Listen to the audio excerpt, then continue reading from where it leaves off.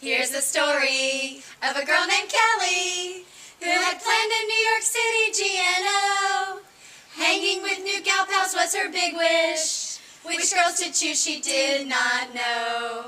Here's the story of Charleston girlfriends with families and working every day. We are dreaming of escaping to the city for a really super girlfriend getaway. we met these girlfriends. She knew it was much more than a hunch that these Charleston girls up in New York City would be a hoot and holler perfect bunch, the perfect bunch. Oh, that's, that's us. the perfect bunch. That's, that's us. We're a hoot and holler perfect